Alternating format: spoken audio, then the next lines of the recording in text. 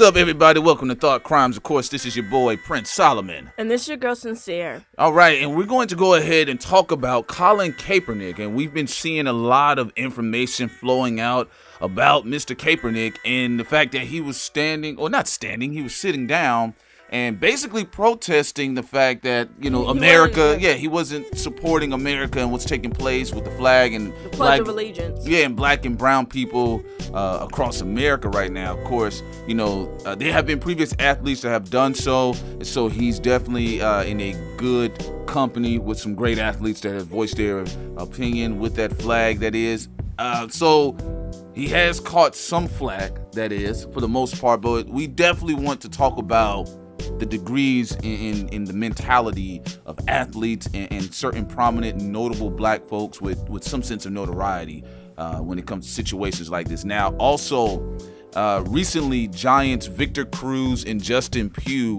voiced their disagreement, and uh, you could tell some people dropped a bug in their ear because uh, who was it was uh, it was Victor Cruz. He states, regardless of how you feel about the things that are going on in America today and the things that are going on across the world with gun violence and things of that nature, you got to respect the flag, Cruz said. And he says, and you've got to stand up with your teammates. It's bigger than just you. In my opinion, I think you go up there, you're with a team, and you go and you pledge allegiance, your allegiance to the flag, and you sing the national anthem with your team, and then you go about your business, whatever your beliefs are. In other words, he's saying go along to get along.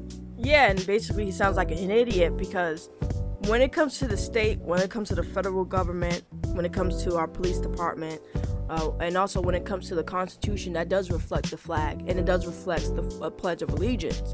Now, having gun violence when you're talking about criminals who have no backing of the establishment or the federal government, these entities, that's a different story. That's a those you could say are lone wolves that has nothing to do, uh, or that's not even a knock on the American flag because those are lone criminals doing what they're doing, which they're supposed to, you know, get arrested by cops and and um, of course go through the judicial system and eventually, if found guilty, uh, be put in jail or prison. What Colin is talking about is systemic, and systemic issues actually do reflect uh, our government. It reflects us as human beings. It reflects us as Americans. So when you have people like what happened to Tamir Rice getting gunned down by police officers, and then the fact that this police officer who shot him wasn't supposed to even be on duty anymore because he was deemed uh, mentally unstable, but he still was able to find a job, and then on top of that, not be prosecuted or even or not even be arrested. That does reflect us as a nation, and I will agree with Victor with one thing: it is Colin's First Amendment right to say how he felt, and it's also Victor's right to say how he feels, even though we perceive Victor as being wrong. As a coon, let's be real. Let's just call it is what it is. You know, he's making sure that he's taking the opportunity to show the establishment that look, guys, I'm not one of these defiant Negroes. You won't hear any problems from me, sir. No, sir. Also, uh, you know, just looking at uh, Colin Kaepernick's uh, behavior, to be honest with you, you can visibly tell that he's he's agitated. It- you know, it's almost like he's just tired. You can you can look at him on his face; he seems tired. Whereas you look at Victor Cruz, he looks like a happy ass Negro. Got a few women probably he chilling out with the cars accessories so he's only concerned probably with his inner space like he said it's a team so go along with the nba or i'm sorry the nfl and and get along just to, to move along let's let's just not cause any And, and say that that's bigger than him, people dying systemically is bigger than you and your team. In fact, the only reason why you even have a team is because these everyday average people come out and support your asses. well that's that So to not attitude come around and support them, that doesn't even make any sense. You sound like a moron. So yeah, Victor and Justin, they both sound like morons. You know, I like uh, Colin and what he stands for because it reminds me of, of people like Jim Brown. You know, these people knew systemic racism or systemic issues period that Americans face is bigger than them, it's bigger than football, it's bigger than basketball. It's it's about human rights violations and also constitutional rights violations. Also, when you have people like in Flint, Michigan, being poisoned by Governor Snyder, that's not something you you you you just wash over. And then yes, those people there in Flint, Michigan were predominantly black. Well, leave it to Victor Cruz. He's supposed to move along, ignore what is taking place, and, and you know not really uh, care that much. The thing is, though, is that uh, what Victor Cruz is playing off of is to steal the mindset of the $40 million slave. We live in a new age right now where, for the most part, black people are, have been flexing their voice for the past eight years. Ironically, under Barack Obama, they feel a lot more comfortable about flexing a lot of things right now. They flexed on him a few times, although I personally feel they didn't flex enough but uh, in a sense they are letting it be known. They're cool with how kendrick has been able to voice his opinion about race how beyonce has been able to voice her opinions about race jay-z lebron james carmelo anthony. Ryan coogler yeah, serena you, williams yeah you, serena williams and you go through the list. So you have a lot of prominent black athletes and musicians and actors and just celebrities in general that they're feeling comfortable now because they're saying this is the climate. Not only that even though there is a duality here, they're feeling comfortable enough to voice their opinion, but they're still agitated by the plight of black people, even at their higher end of the spectrum. They're still saying, you know what, there's still a lot of stuff going on. Like, yeah, I wake up every day to a Bentley, a Rolls Royce, things like that, but you know, to see things take place in the news or how black people are mistreated, or the fact that they want to open up some businesses or other lines of avenues that the system itself has been blocking them on, they've been more upfront and vocal about their displeasure with certain things in the system. So, this is why, you know, you got a Cam Newton. Again, he's still going off the mindset of the $40 million slave. He's still thinking it's 1991. He's got to put his head down, get on his OJ Simpson thing, and we're all colored Negroes, that type of stuff. And so there's a clear distinction between the mentality of a Cam Newton and a Colin Kaepernick. And one thing about uh, Cam Newton, uh, as sincere now, we have noticed a lot of people have been saying he has to kind of play along the coon game. He has to coon it up just a little bit, or he, he has to, you know, play the system when that's not the case. Uh, number one, let's be real. You're not going to get this type of you know, uh, Colin Kaepernick attitude from a Cam Newton because if you follow Cam Newton through his career, he's been immature. He was still immature during the, the season. He cried at the end. Just like now, you can tell he has no backbone and he's completely reversing his stance. Even though all them black people were doing that Super Saiyan charge in his favor, and he still said, I'm gonna go so far into this coon territory that unequivocally there will be no doubt by the system that I am not a threat. I also wonder about his parents and his father, because you know his father is a big uh, inspiration in his life. And I, am I'm, I'm wondering if these people have cowards as parents or just neglected them in, in discussing these issues with them. Because you look at Ava DuVernay, who, you know, she's a Pan Africanist. She also had that as her upbringing, upbringing by both parents. When you look at the Williams sisters having a strong father and letting them know their, their integrity and them not being insecure about their race or talking about race issues. Or we look at Ryan Coogler, who grew up in Philly you know, when I look at these people and then I look at a Cam Newton, it, it, it does make you wonder why are we having people like that in prominent positions be so cowardly. And then one could say, well, because he's been hired by the NFL. So was Lynch. Uh, he was hired Marshawn by Lynch. Yeah, yeah, he was hired by the NFL, played his finances rights, and told them to fuck off. Uh, so is Colin. Colin looks like he's just he's just he's upset. Look like he's one step away from exiting. yeah, but it looks like he's also ready to make that move because yeah. he too. It's like I took care of my finances. So, you know, it's interesting where you see men and women, black men and women who who make these moves saying, you know, I know my worth, my worth, you know, like a Beyonce or a Jay-Z. You know, I don't give a fuck about what the establishment has to say versus someone like a Cam Newton who cries on the football field like a baby and then also uh, retract on what he stated that year. Well, even when he said, uh, I'm a black quarterback, like, there was no there was no power behind it. You know what I'm saying? Like if you go watch those old interviews with Jim Brown, there's a lot of power. There's a lot of resonance in his voice when he said, you know, well, what I did was collectively pull with other players behind the scene to make things happen. You know, and he was saying, look, we're black, and that's just that. even when Cam Newton was saying, "Look, I'm a black NFL quarterback. I, am nothing they can compare to," he was speaking more so towards his vanity.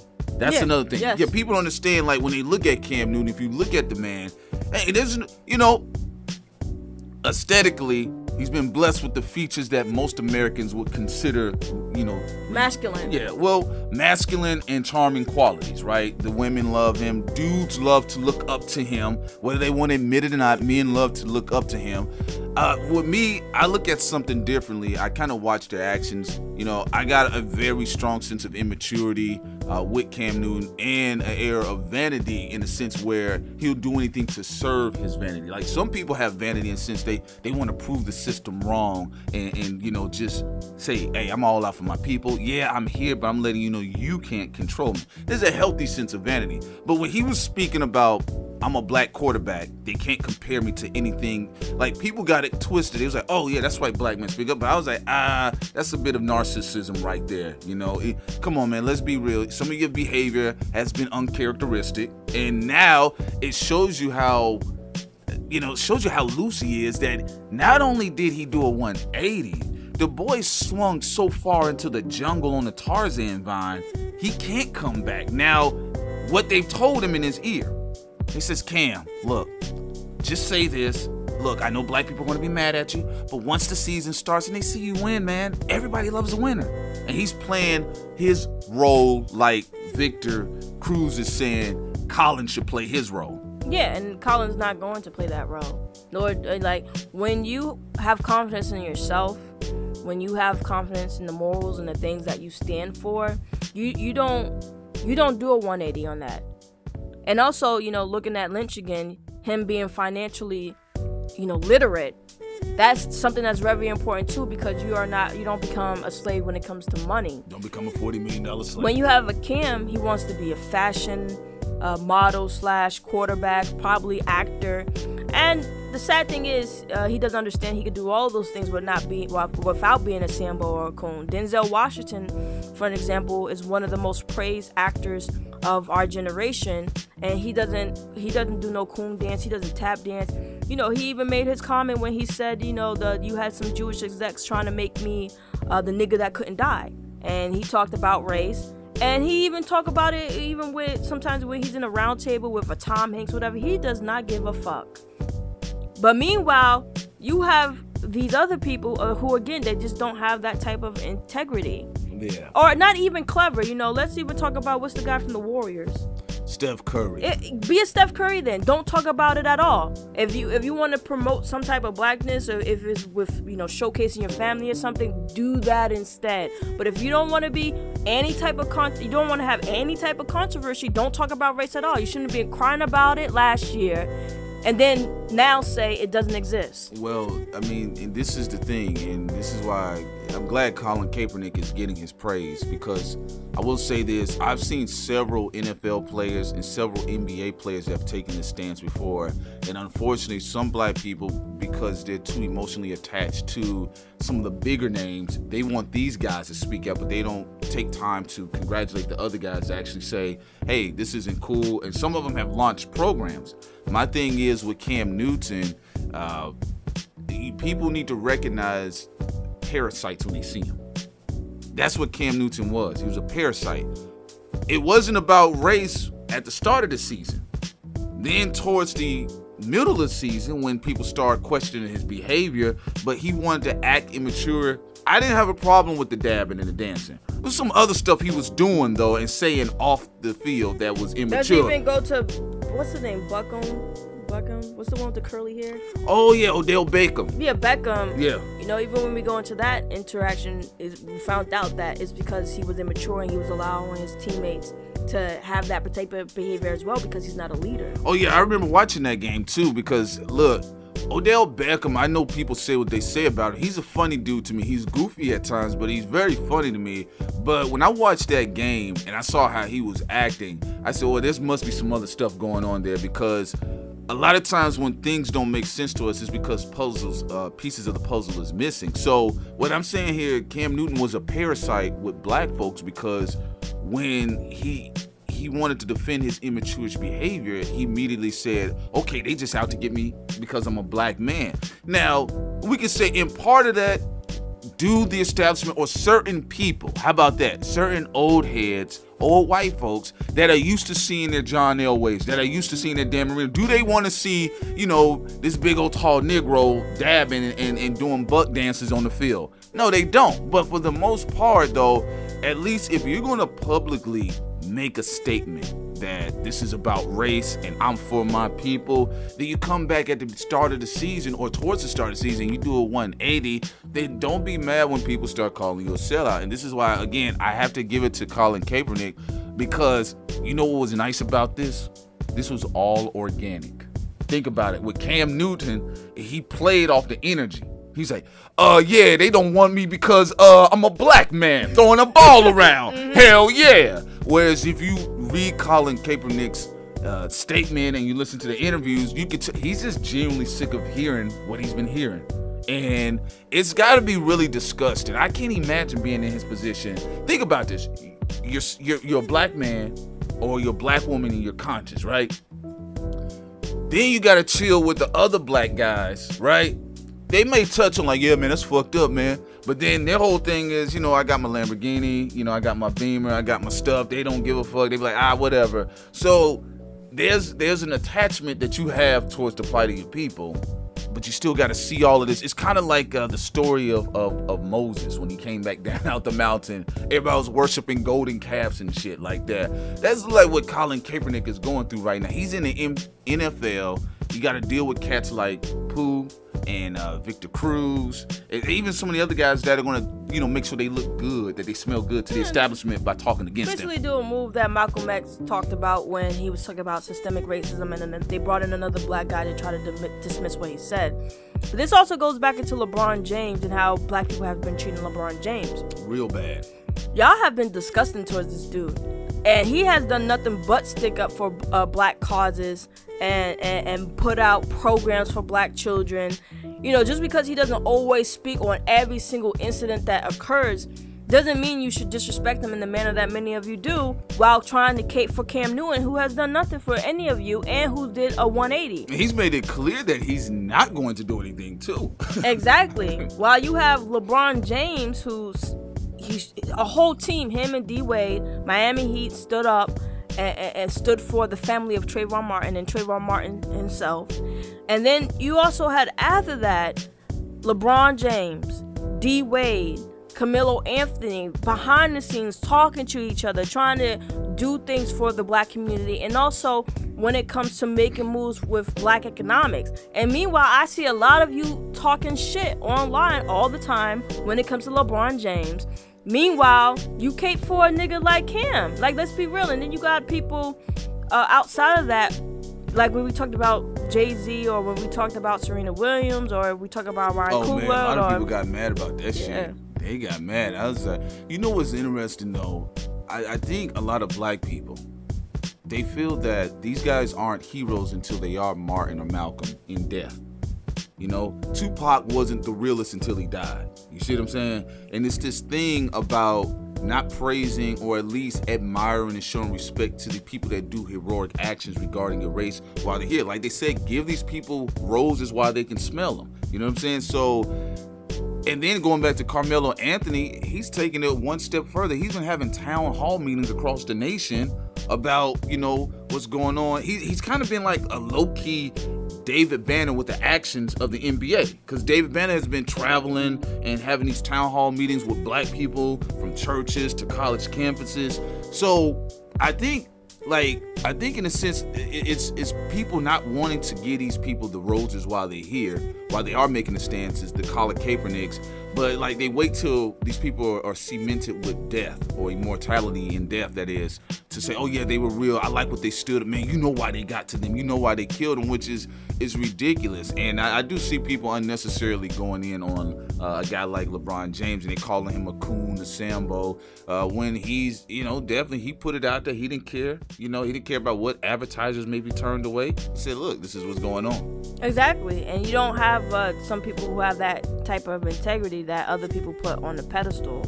You know, you need to stop focusing on putting people like ASAP Rocky or people like Cam on a pedestal and they and they're not for it. You know, they just want the benefits of being black or get a get out of trouble card if they need to fall on that without actually doing things to showcase that they care about human rights violations against black Americans or constitutional rights violations against black Americans. When you have so many other people who showcase that they're willing to fight against those things and they're confident in themselves. They don't they don't need the establishments to give hand out goodies to them.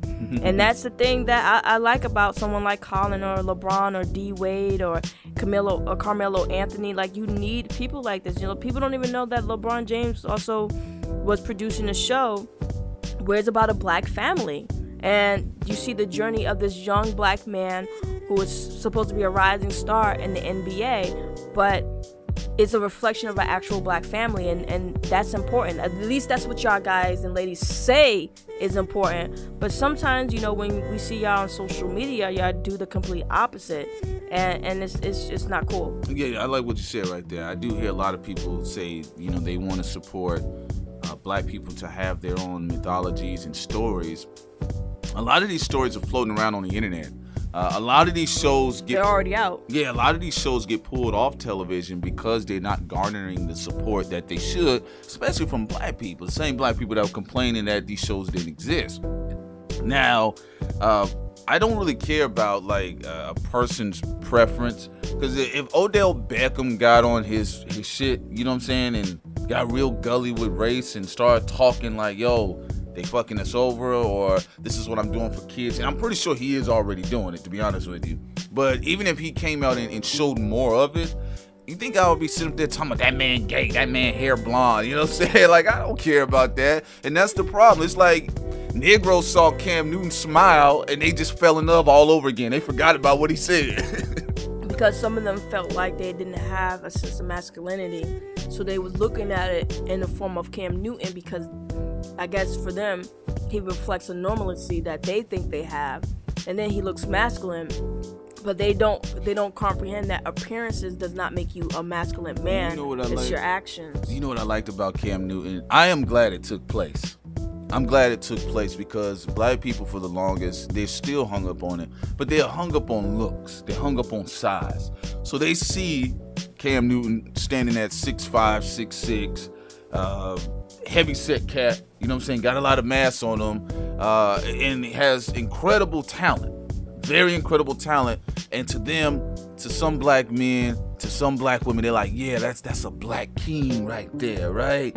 Right? Yeah, he a black king until he opens his black ass mouth right? Mm-hmm. and you see, you see what you're dealing with is a pauper. You're not dealing with a king. You're dealing with a pauper. You're dealing with a peasant. He sounded like a peasant. Oh, please, establishment, NFL, please throw me, throw me some of the gold. Please throw me some of the food. That's what you saw. And and what's interesting, if you juxtapose somebody of his massive size and strength to a little cat like Prince who had the heart of a giant, who was all the way about black, wasn't even the same complexion. People still think Prince is biracial. Wasn't even the same complexion, and he was all about black is black is black is black. Five four, high heels, putting out programs for black children in inner city to know their worth, to also partake in uh, going back to being able to play instruments again, and also coding, coding IT. IT. He was also, you know, you know what he was doing with title. So you had someone like that with high heels who had put makeup, who, who used to wear a lot of makeup and still wore makeup before he passed, who wore women clothing at times, mm-hmm. and something that some people have an issue with, but they couldn't see a, a sense of masculinity and a man who made masculine moves, or let's just say intelligent moves, who who who didn't who didn't let the establishment screw him over, play him out, you know. Out. He, he didn't give some R I mean some um, industry cat some head or whatever to get his fortune. Or none of those things and this guy's you know Prince was very confident he's also was about helping his people yet some of y'all question him because of the way he dressed you question his masculinity but you won't question Cam Newton a punk yeah now there there are a lot of things that uh you know I see a lot of cats on the internet. They make their 52 hour videos about the feminization of black men, and then you know they'll throw up an image like uh, Young Thug. They'll throw up images like Prince. They'll throw up images like Rick James. Um, to me, you know, when you're talking about effeminizing black men, it's the rhetoric that Cam Newton is kicking. It's the rhetoric that Stephen A. Smith kicks. You see what I'm saying? It's the rhetoric that Charles Barkley kicks. It's anytime these black men get in front of the camera, and in front of mostly white folks, they start tap dancing. It's the same thing that Common realized didn't work because when Jon Stewart on the Daily Show, while he was there, you know, when the show was under his tenure, when he asked Common, he was legitimately asking him, "What is it that white people can do as a collective? What is it that they can understand? Tell us something that they're missing." Because Jon Stewart wanted to use that moment to be a pivotal moment of education. You could tell he was like, "Yeah, come on, man, I'm with you. Just come on, let them have it." And what did Common do? All y'all gotta do is just give us a hug.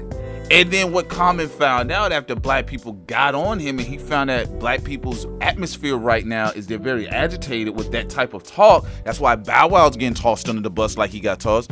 What did Common do? He started going to the black Sundance. He started putting his name behind stuff. Well, it was worse. It was yeah. it was even worse than that.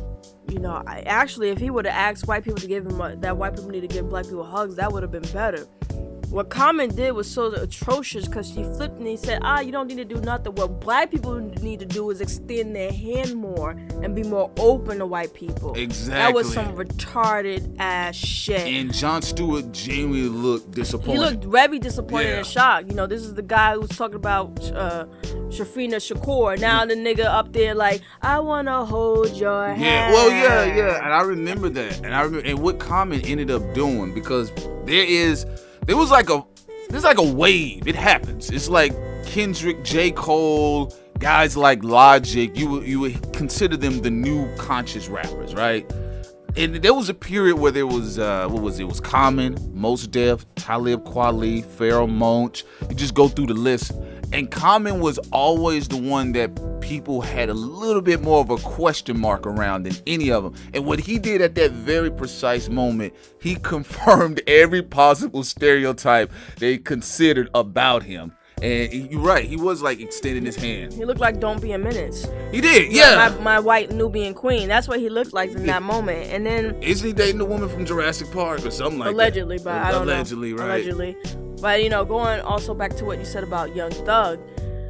Uh, Young Thug is a Sambo because of other reasons. Because he let Cohen, of course, pimp him out. He also has questionable ties to Baby, and uh, for a lot of reasons, those things are justifiable. But for him wearing a dress and stuff when you look at the history of music or the art world, if you go back to Little Richard, if you go back to the Commodores, you know, you go back to Prince, when you go back to a lot of these people, a lot of them were androgynous. If you go to Afro punk, you'll see a lot of androgynous black men and women. Some are straight, some are gay, some are bi, what y'all guys and ladies need to comprehend when it comes to dressing attire, there's no absolute when it comes to sexual orientation when it comes to that. Because a lot of y'all got surprised with our Jaden videos, like, oh my god, I didn't know Jaden was straight. We told y'all Jaden was straight. Just because he's running around with skirts on doesn't mean the guy is, is, oh, is gay. Let, and if he real. was, it wouldn't be an issue, but he's not. Well, the thing about Young Thug is uh, you can you can consider him a Sambo for the things he said you know, about black people and the police. Um, the thing, what I find is, is very interesting when everybody judges Young Thug. Uh, you know, the music he has, it's an acquired taste for a different audience, just like Lil Uzi, just like, um, uh, who is it? There's Little Uzi, there's the Yachty Cat. It's, it's a bunch of them, right? Uh, but they don't they don't go off that and it's it's kind of weird when i see how a lot of people are like, yo, man, this is the feminization of the black man. No, I keep saying it. Cam Newton is the feminization of black men. And to be honest with you, uh, what he stated is something that's more that's more destructive to me.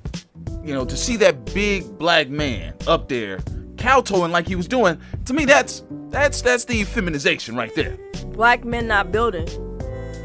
That's embarrassing. That's embarrassing. Going online, black men and women going online talking shit about each other in a degree that they think that they're putting white people on a pedestal, like Crystalline, Karazine, and Tommy. That's embarrassing. Yeah. You know, as a people, a lot of these people who are worrying about what Young Thug is worrying should be worrying about what we're doing when it comes to the economy because Young Thug having that Mortal Kombat dress on doesn't make him look weak. It's the fact that he said a lot of Sambo shit. That's what's make that is the thing that makes him weak. And if you want to be real, that would that is what puts him in the same category as a Cam. You know, we have people out here who are trying to build for black people, who are trying to open up studios, who are trying to open up learning centers who are trying to do these different things. Then you have those online who all they do is nitpick about how somebody dress or how they look, you know, and, and that's all they do, or they all only talk about patriarchy or matriarchy or different things like that. We want to see it. Where is the building? If we want to talk about some uh, someone looking weak, to me, is a man who doesn't stand on his moral ground and a man who does not who says we need to do this and that and doesn't do any of those things. Well, uh, you know, the thing is though, it's it's hypocrisy because you know we go back to the Coachella. Andre 3000 came out with a full platinum blonde wig, the same one that you would see in Players Club, the same one that Ronnie and Trixie wore in Players Club. Nobody said anything. Andre has been spending the better half of his career wearing wigs, okay? Look, and this is, I'm just saying, for me personally. And pink dress outfit. Yeah, and I'm not trying to, you know, throw Andre 3000 on the bus, but it's just like, come on with the bullshit, man. It's like, to me, when I look at Prince dress attire, I look at Andre's dress attire, and I look at Young Thug's especially his more recent dress attire with his Lord Raiden shit he had on. To me, excluding the music, not comparing the music, but we're talking about the dress attire, I throw all of them in the same group. Now we want to talk about the music. That's different. You you can break that down. Or well, you, what Prince stood for. Yeah, and then what you can talk about what they all stand for versus what you know, uh, what they all standing for against each other and things of that nature. But I think it's because we live in this information age where it's just we're able to have so much access to information, right? We, you know, we, we we click on the link, we can sit there. Some of us that still choose to read. About good 30 minutes, you can gain some substantial amount of knowledge. If you spend eight hours on the internet, you can damn near become a professor, okay, on any subject, right? We have a lot of that. So everything about information is click and go, click and go. It's kind of like that McDonald's mentality, you know, just drive through, get your things and go. Now, if you go ahead and compare that to, you know, what was taking place maybe in the 70s and the 80s and the early 90s, when people came across information, you know, they came across bits and pieces of it. And that's what they worked with to go build other things. Or they took something they found. So now we have so many Mr. and Mrs. Know It Alls right now especially in the black community. You have a lot of cats, they just they can tell you all of the verbal diarrhea they have in the world. Oh, like and giving then, black relationship advice. Yeah, they, they don't tell, have a partner. Yeah, they can tell you all of the, the, the you know the the stuff, the solutions to black economics, the solutions to black society, the solutions to the black family, but they haven't been able to implement it or at least curtail it in a sense where you can look at them and say, wow, he's making money, she's making money. I need to listen more to this person. I'm not gonna listen to someone who's trying to talk to try to tell me how a black woman or how a black man and a black woman should be in a relationship and how their relationship could go further if they're not even in one themselves. And what I mean by that is, or just in general, ch- trying to say how a relationship works between a man and a woman, and you're single, yeah, it's like get the fuck out of here. Or it's kind of like uh, uh, some of these professors at these colleges they try to tell you how to create a business and they never created a business themselves. They're not even in the process of making a, a building a business. So i'm looking at you like you don't you don't have the you don't have the information i need to go further you know, whether it's on relationship issues, since you don't have a partner, you're not married, you don't even have a girlfriend, or you don't have a boyfriend, whether be it business, okay, where's the building? Where, you know, I have people that I know who, even if you have a small business, a small shop, uh, even if you started your own uh, farm or, or greenhouse or something like that. I can talk. Your own lemonade. Yeah, I can talk to that. I, yeah, I'll talk to a ten year old. yeah, hey, hey, yo, hey, what you doing with that lemonade? You don't have none of that going for you. Don't don't be online trying to tell people what to do. If you're working on on if you're working a nine to five or even if it's a corporate job and you're miserable and then you go on you Online, online talk about people need to build or do this, where is it? They they ain't though, but that's that's what I'm saying right now. We we have too many Mr. and Mrs. Know-it-alls in, in the information age and, and not enough doers. Like that's why honestly that's why I would listen to Boyce Watkins. You know, he's he has product, he has representation, he has a history. There's some other cats, Dr. Jean Claude Anderson, even some of the dead ones, you know, uh, Dr. Amos Wilson, you know, uh, you can go back to the Sertimas, you can go back to these people that actually had results. And what we have Two guys from Afropunk. If I wanted to Yeah. try to create another uh, uh, another venue or movement in that way, that talk would be to them. or or their whole curly hair festival. That's another. Shit, you know? FUBU. Shit, fuck out of here. Like, like you got more. Yeah, that's what I'm saying. You got more people talking and talking, and they always trying to do. I told you. I told you. Everybody's on autocorrect, damn near. So anything you say, they do an autocorrect of it. Autocorrect. It's, it's, it's the Microsoft generation. It's the autocorrect. That's what it is. And everybody can tell you where you went wrong. Uh, this is, but nobody. My thing is this: what irritates me about this type of stuff everybody can tell you where where what's going on with the black man and the black woman, right?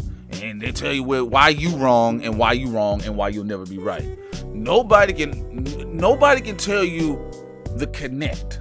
You know what I'm saying? That's why I, I- do love being around in a sense when I get around different groups of people, somebody's gonna lay out the connect. Or you get around black people that have more than you, somebody's gonna lay out the connect and that's what nobody's really talking more of. We we got more we got more hyperboles and intellectual vague masturbators. You know what I'm saying? And, and all they can tell you about these these ideas, these theories, and they're not even theories because they don't even test them. It's like if someone had a failed business or someone who had a failed marriage who got a divorce. okay. I wouldn't go to them and ask them how to make it work. I would go to them and said, "Why did it fail?" Right. And then they'd be like, "Well, you know, I was doing this, I didn't do that right, or I, I wasn't paying attention to my finances." I'm like, mm, and I'm writing what Right, not everything. to do. But I wouldn't go to them and they haven't had any a, a success yet. I wouldn't go to them and be like.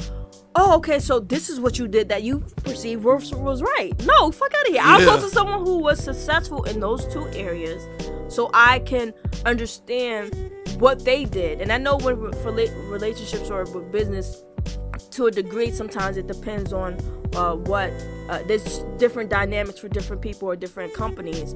But as a whole, I can still see what that person did to make it work. And for the ones, the people who fail, I can also learn from them why they failed. But I would not be Exactly. trying to get success, you know, information from It's- people who are failures. It, I'll just be real. I don't even know how y'all stomach some of these cats on YouTube. They have no product. A lot of them have no product. They just randomly upload videos. They pick out a subject. They pick out some shit that happened with somebody, and they start going in on them and telling them, telling you all how the rest of Black America sucks and that reasons why black people are in the situation they're in. Like it's this whole call to task personality, a, a, a cult of personality. It's this call to we need to call it to task. Like I said before, people have been calling shit to task for the longest. We need to call upon some connects. That's all I'm interested in. That's why you know when people send us things, the music. If you got skills, we'll review it. We'll check it out. We may even upload it to do some special, you know, to push it for you. You know what I'm saying?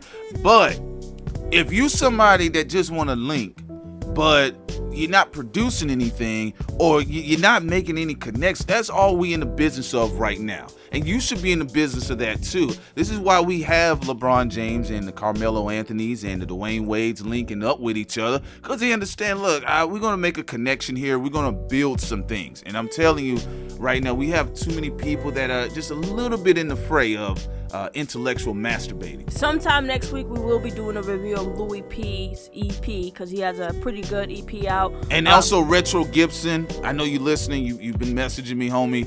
Got you. Talented musician. We want y'all to check Louis P and Retro Gibson out. We'll be doing that for a lot of local cats as well. And also, uh, we're gonna continue this conversation, but since Prince brought it up, I want people to know the understand the difference.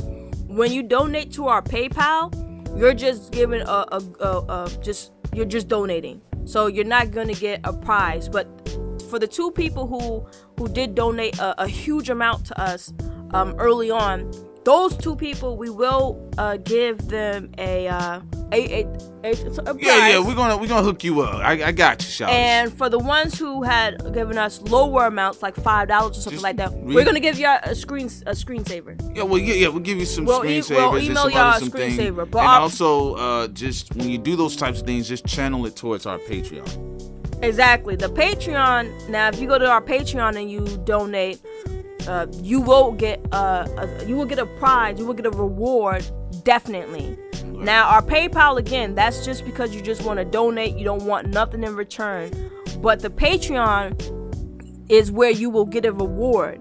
And uh, uh, going back to why we're doing this is there's a lot of things we're trying to build. There's a lot of people we're trying to work with. Building, yeah. Yeah, there's people that we've already come into contact with. We like their stuff, but we just at this particular time don't have uh, enough space right now to really focus on that. But when we get on, don't forget that we're paying attention. When we get on, we're gonna come back around and get these other people who we feel have great quality work, and we want to help them go further too. So And do yeah, not give up. Yeah, and that's the difference right then and there. I'll be real with y'all because you'd be surprised. Everybody damn near black on YouTube that's talking, I've listened to them. Okay, I don't I don't see anybody saying they're gonna try to help out or give back.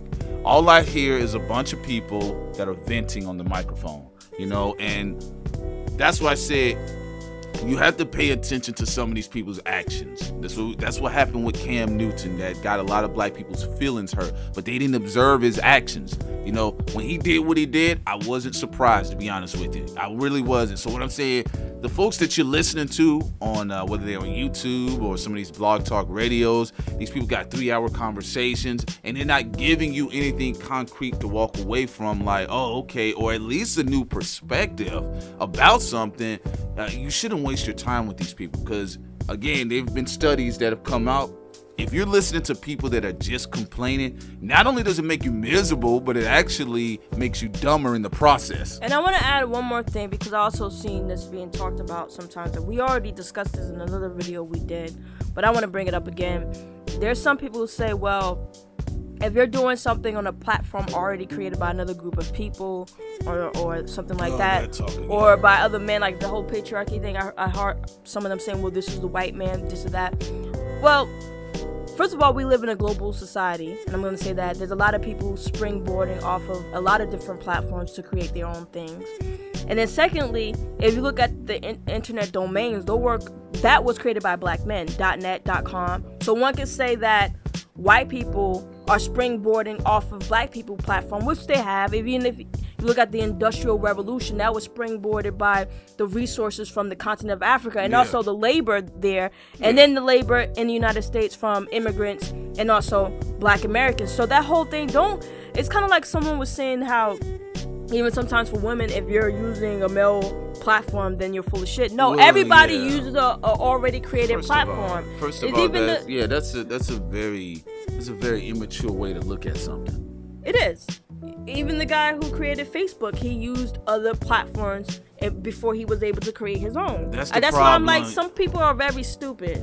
Well, the problem is is is again uh, remedial thinking, you know, and for you to be able to go ahead and segregate uh, the world and its utilities in that manner, that really highlights your your, your level of non-thinking.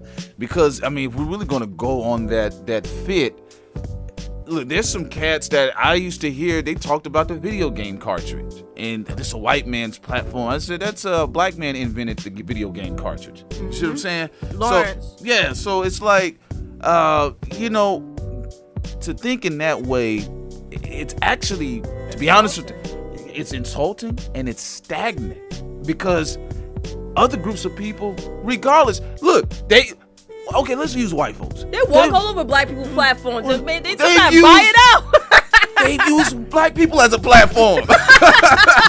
there you go, nigger. Let me step on your back, try Oh. to get to my Cadillac. Bing.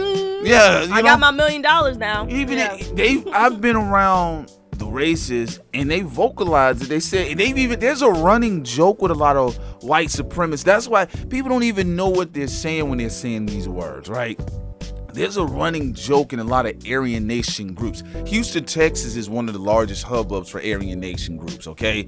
Denver, Colorado is another one. Utah, even when you go up to Minnesota, North Dakota, South Dakota, okay? I've journeyed to some of these areas. It's real. And one of the running jokes that I've come across by the time I've met some of these Aryan Nation cats is that they say that black people, the only thing they're good for is a stepping stone in society.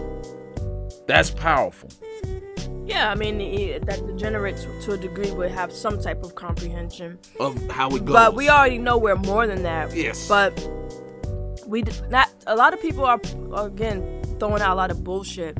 It's kind of like uh, if you like something that is actually from white people culture, not something that they um, um, stole for somebody else and then pretend was theirs or think it's theirs out of ignorance then that's fine. You can manipulate it, turn it into your own. People do it all the time. You know, when you look at Japan, you look at Europe, you look at a lot of the white people in the United States, they take a lot of stuff from around the world knowingly and unknowingly, and they still make something of their own. They're not going to say, "I'm not going to uh, springboard well, off of somebody else's this is platform." What I was, yeah, this is what I was talking about a little bit earlier. Is that you know uh, sometimes with us black people, we think too far in the bipolarization sense. We go too far to the left or we go too far to the right. Another thing is uh, globalization. There's there's very good aspects of globalization, like you know the positive form of it, not the you know the Zbigniew Brzezinski type shit, the dangerous shit. But you know when people are of a, a global front collective and they're exchanging resources with each other, that is how civilizations and societies move forward. But you know sometimes with us you know we do we do one or two things. We it's two way with us. We either go too far into being black where we like we're not going to have any engagements without having to deal with other groups of people or what we end up doing is we do run to other groups of people, but we don't want to deal with our own. And you have to be savvy enough to understand it. That's something Cam Newton, I'm going to keep going back to his ass. That's something Cam Newton has not understood that what he could have finessed it. This is why whoever he's dealing with, whoever his publicists are, they're horrible. And even the fact that he needs a second brain outside of his head is bad enough. But all he had to do, this is how I would, this is how gangster I am with it I would have just says, look, guys, I was immature last year, but you're not to see the Cam Newton that you saw last year. Let's get this Super Bowl.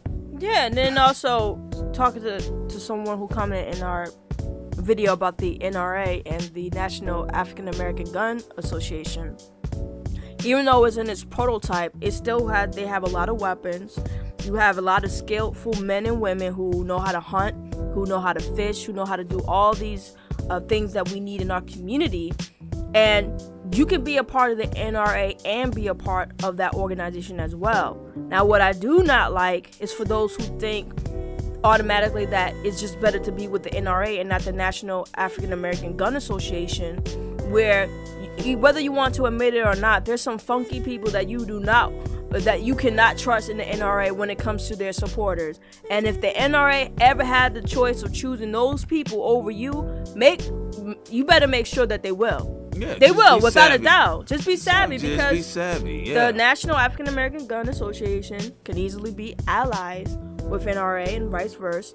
But that doesn't mean we have to abandon our own. So, like what we're saying, of course you can use other people's platforms, but you better make sure you're supporting your own and also make sure at the same time that you're creating your own. Okay, it's like uh, some of the comments I, I saw with the Ryan Coogler and, and Marvel Black Panther film and they're like, well, you know, all he doing is giving money to blah blah blah. But you have people um, that are offshoots of that project. You have black illustrators, you have black animators, you have black designers, uh, you have black producers, you have black concept artists that they're trying to launch their own studios off of this bigger platform that they don't own.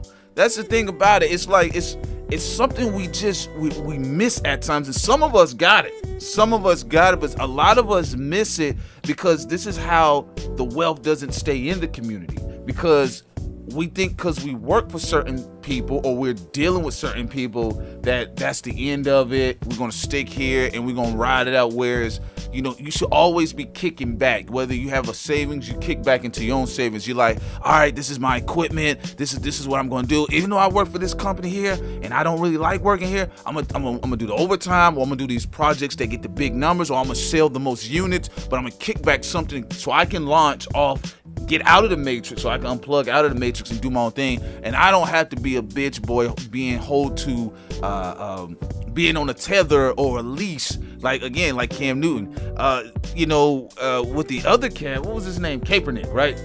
Yeah. Mm-hmm, yeah, with Colin Kaepernick, uh, it's clear that he doesn't have that fear about him. Mm-hmm. He, honestly, like I said, looking at him, it just looks like he's just genuinely tired. That's why the spirit is what is important. The spirit is very strong. And the ambition someone has has or have. You know, when you look at when you look at Cam, his ambition is to be a fashionista and he wants to be a black John Elway. Yeah, that's it. That's it. That's it, you know, and those are the type of people we do not want to work with.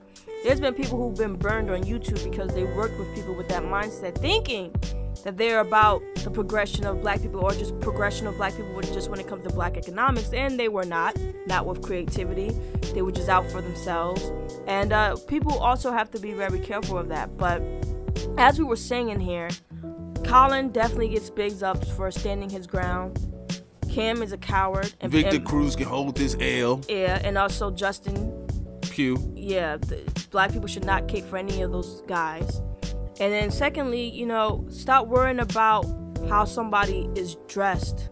That's just is, is a useless, baseless argument. It doesn't a man with mascara doesn't mean he's masculine more masculine than you or less or a sister with a shaved head don't mean she you know she's somehow not for black people i mean that's like i said we Oh, you mean weave? Because shaved head, they would probably think would be natural. Well, no, because sometimes dudes, they some dudes and women, they go overboard, you mm-hmm. know, with certain things. Or uh, if it is the weave, no, no, yeah, yeah if it is the like, weave, if, yeah. weave, wigs, whatever. It's not. It's not what's on their head. It's what's in their mind. And a lot of times they're like, "Well, brother, what's a reflection on their head? It's what's in their mind." I, I, I, because there are a lot of killing ass niggas with dreadlocks or locks that are supposed to be tied to the Eastern tradition of Africa, but that don't mean they're conscious Negroes because they got locks. There's no absolutes. That's why people need to stop making absolutes with what people wear. First of all, I don't give a, a, a crap if someone's gay uh, or bi. But if a guy is dressed a certain way, it doesn't automatically, in most cases, mean that he's gay or bisexual. It's, it's not an absolute in those regards. And a lot of the times, it's the guys who think, who try to be real street hood. It's the guys like Prodigy who a lot of times are gay, but, and they try to over compensate for that to make themselves per- be perceived as straight. Oh, it's yeah, like Kanye West was right in that uh, regard. Yeah, the shit that Diddy is doing. You know, a lot of people like, well, why'd y'all clown Diddy? Because Diddy is a bozo, man. And he's a predator. Yeah, I'm sorry, he's, trying a, to. He tried to. How you be in somebody hotel room that don't doesn't want you there? You trying to? You you you're. That's that's. Well, even other stuff he's done, mm-hmm. but you know, mm-hmm. my point is, he's a bozo. Uh, he he's a now he's old enough. He's an intergenerational bozo. All right. But uh, yeah, I mean, you know, we, we got to get past how we don't like how somebody speaks or how they sound or which gender it is. That's another thing we're getting hung up on uh, because a, a, lot of stuff that happens on the internet is, a, you know, it's a manifestation of self-hate. And again, you know, you can't you can't excuse it across the board. You, I mean, you cannot excuse that type of behavior. So again, folks. Uh, what we want you to do is just keep pushing forward and supporting us. And uh, those are our thoughts on Colin Kaepernick, Victor Cruz, Justin Pugh, Young Thug and his Mortal Kombat get over here dress. You know, um, it is what it is. Like I said, he's more of a symbol for the shit he said, not what he wears. Because if we're gonna judge him by that standard, uh, let's go ahead and judge Andre and Prince. Again, you know, I like, I love Andre 3000 and Prince's music, but I'm just being real with this shit. If we're gonna do that. And one last time, yeah, guys have to look at the description box. We put the like sometimes you want to ask them know who has the who created an instrumental. Yes. You will see that in the description box. And again, PayPal. If you donate to PayPal, that means you don't want a reward. You will just get uh, out of good faith. We will just give you a screensaver just because we want to. But if you donate to Patreon, you will get a reward. And for the two people that know who they are, who donated a large sum amount on on uh, PayPal before our Patreon was up, we will be giving you two you two people. We will be giving a a reward to. Yeah, yeah, a couple rewards that is. All right, this is your boy Prince. And this is your girl Sincere. All right, we are out. Right, he was like extending his hand. He looked like Don't Be a Menace. He did, yeah. my, my, white Nubian queen. That's what he looked like in that moment. And then. Isn't he dating the woman from Jurassic Park or something like allegedly, that? Allegedly, but I don't allegedly, know. Right. Allegedly. But, you know, going also back to what you said about Young Thug. Uh, Young Thug is a Sambo because of other reasons. Because he let Cohen, of course, pimp him out. He also has questionable ties to Baby. And uh, for a lot of reasons, those things are justifiable. But for him wearing a dress and stuff, when you look at the history of music or the art world, if you go back to Little Richard, if you go back to the Commodores, you know, you go back to Prince. When you go back to a lot of these people, a lot of them were androgynous. If you go to Afro punk, you'll see a lot of androgynous black men and women. Some are straight, some are gay, some are bi what y'all guys and ladies need to comprehend when it comes to dressing attire, there's no absolute when it comes to sexual orientation when it comes to that. Cause a lot of y'all got surprised with our Jaden videos, like, oh my god, I didn't know Jaden was straight. We told y'all Jaden was straight. Just because he's running around with skirts on doesn't mean the guy is, is, oh, is gay. Let, and if he real. was, it wouldn't be an issue, but he's not. Well, the thing about Young Thug is uh, you can you can consider him a Sambo for the things he said you know, about black people and the police. Um, the thing, what I find is, is very interesting when everybody judges Young Thug. Uh, you know, the music he has, it's an acquired taste for a different audience, just like Lil Uzi, just like, um, uh, who is it? There's Little Uzi, there's the Yachty Cat. It's, it's a bunch of them, right?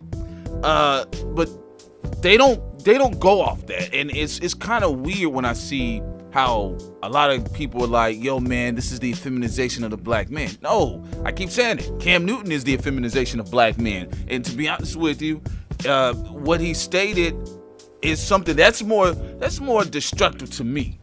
You know, to see that big black man up there kowtowing like he was doing, to me that's that's that's the feminization right there. Black men not building. That's embarrassing. That's embarrassing. Going online, black men and women going online talking shit about each other in a degree that they think that they're putting white people on a pedestal, like Crystalline, Karazine, and Tommy. That's embarrassing. Yeah. You know, as a people, a lot of these people who are worrying about what Young Thug is wearing should be worrying about what we're doing when it comes to the economy because Young Thug having that Mortal Kombat dressed on doesn't make him look weak. It's the fact that he said a lot of Sambo shit. That's what's make that is the thing that makes him weak. And if you want to be real, that would that is what puts him in the same category as a Cam. You know, we have people out here who are trying to build for black people, who are trying to open up studios, who are trying to open up learning centers, who are trying to do these different things. Then you have those online who all they do is nitpick about how somebody dressed or how they look you know, and, and, that's all they do, or they all only talk about patriarchy or matriarchy or different things like that. We want to see it. Where is the building? If we want to talk about some uh, someone looking weak, to me, is a man who doesn't stand on his moral ground, and a man who does not, who says we need to do this and that, and doesn't do any of those things. Well, uh, you know, the thing is though, is it's hypocrisy because you know we go back to the Coachella. Andre 3000 came out with a full platinum blonde wig, the same one that you would see in Players Club, the same one that Ronnie and Trixie wore in Players Club. Nobody said anything. Andre has been spending the better half of his career wearing wigs, okay? Look, and this is, I'm just saying for me personally. And pink dress outfit. Yeah, and I'm not trying to, you know, throw Andre 3000 on the bus, but it's just like, come on with the bullshit, man. It's like, to me, when I look at Prince dress attire, I look at Andre's dress attire, and I look at Young Thug's especially his more recent dress attire with his Lord Raiden shit he had on.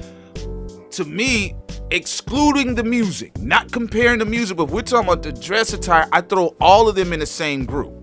Now we want to talk about the music. That's different. You you can break that down. Or, if you, what Prince stood for. Yeah, and then what you can talk about what they all stand for versus what you know uh, what they're all standing for against each other and things of that nature. But I think it's because we live in this information age where it's just we're able to have so much access to information, right? We, you know, we, we we click on the link, we can sit there. Some of us that still choose to read. About good 30 minutes, you can gain some substantial amount of knowledge. If you spend eight hours on the internet, you can damn near become a professor, okay, on any subject, right? we have a lot of that. So everything about information is click and go, click and go. It's kind of like that McDonald's mentality, you know, just drive through, get your things and go. Now, if you go ahead and compare that to, you know, what was taking place maybe in the 70s and the 80s and the early 90s, when people came across information, you know, they came across bits and pieces of it. And that's what they worked with to go build other things. Or they took something they found. So now we have so many Mr. and Mrs. Know It Alls right now especially in the black community. You have a lot of cats, they just they can tell you all of the verbal diarrhea they have in the world. Or like and giving then, black relationship advice. Yeah, they, they don't tell, have a partner. Yeah, they can tell you all of the, the, the you know the the stuff, the solutions to black economics, the solutions to black society, the solutions to the black family, but they haven't been able to implement it or at least curtail it in a sense where you can look at them and say, wow, he's making money, she's making money. I need to listen more to this person. I'm not gonna listen to someone who's trying to talk to try to tell me how a black woman or how a black man and a black woman should be in a relationship and how their relationship could go further if they're not even in one themselves. And what I mean by that is, or just in general, ch- trying to say how a relationship works between a man and a woman, and you're single, yeah, it's like get the fuck out of here. Or it's kind of like uh, uh, some of these professors at these colleges they try to tell you how to create a business and they never created a business themselves. They're not even in the process of making a, a, building a business. So i'm looking at you like you don't you don't have the you don't have the information i need to go further you know whether it's on relationship issues since you don't have a partner you're not married you don't even have a girlfriend or you don't have a boyfriend whether be it business okay where's the building? Where you know i have people that i know who even if you have a small business a small shop uh, even if you started your own uh, farm or, or greenhouse or something like that. I could talk. Your own lemonade yeah. I can talk to that. Yeah, I'll talk to a ten year old. hey, hey, yo, what you doing with that lemonade? You don't have none of that going for you. Don't don't be online trying to tell people what to do. If you're working on on if you're working a nine to five or even if it's a corporate job and you're miserable and then you go on you online yeah. talking about people need to build or do this where is it they they ain't though, but that's that's what I'm saying right now. We we have too many Mr. and Mrs. Know-it-alls in, in the information age and, and not enough doers. Like that's why honestly that's why I would listen to Boyce Watkins. You know, he's he has product, he has representation, he has a history. There's some other cats, Dr. Jean Claude Anderson, even some of the dead ones. You know, uh, Dr. Amos Wilson. You know, uh, you can go back to the Sertimas. You can go back to these people that actually had results. And what we have two guys from Afropunk. If I wanted to yeah. try to create another uh, uh, another venue or movement in that way, that would be to them. Or or their whole curly hair festival. That's another shit. Fubu. You know? shit. Fuck out of here. Like like you got more. Yeah, that's what I'm saying. You got more people talking and talking, and they always trying to do. I told you. I told you. Everybody's on autocorrect damn near. So anything you say, they do an autocorrect of it autocorrect. It's, it's, it's the Microsoft generation. It's the autocorrect. That's what it is. And everybody can tell you where you went wrong. Uh, this is, but nobody. My thing is this: what irritates me about this type of stuff. Everybody can tell you where, where, what's going on with the black man and the black woman, right? And they tell you where, why you wrong and why you wrong and why you'll never be right. Nobody can, nobody can tell you the connect. You know what I'm saying? That's why I, I do love being around, in a sense, when I get around different groups of people, somebody's gonna lay out the connect. Or you get around black people that have more than you, somebody's gonna lay out the connect. And that's what nobody's really talking more of. We we got more we got more hyperboles and intellectual